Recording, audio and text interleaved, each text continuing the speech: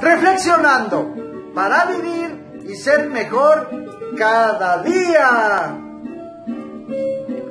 Nunca, pero nunca le des la espalda a un amigo. Al contrario, extiéndele la mano cada vez que lo necesite. Siempre, pero siempre hay que conservar, hay que guardar, pero sobre todo explayar hacia el exterior ese sentimiento que se llama amistad.